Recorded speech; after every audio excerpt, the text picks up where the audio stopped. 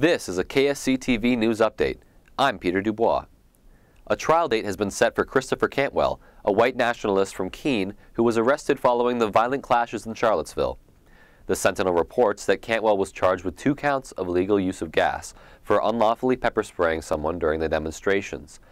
Cantwell's trial is scheduled to begin August 13th in Virginia and is expected to last five days. Two people were taken to the hospital after a head-on collision on Route 101 Monday afternoon in Dublin.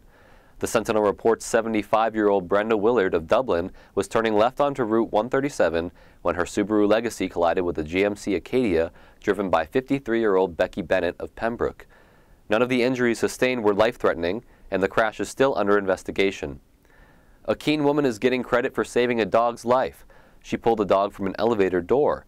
The Sentinel reports Linda Horn, a Stone Arc senior housing resident, was listening to the police scanner when she heard someone in her building was trapped in the elevator. That's when she hurried to the first floor to find the dog dangling by its leash and quickly released it from its harness.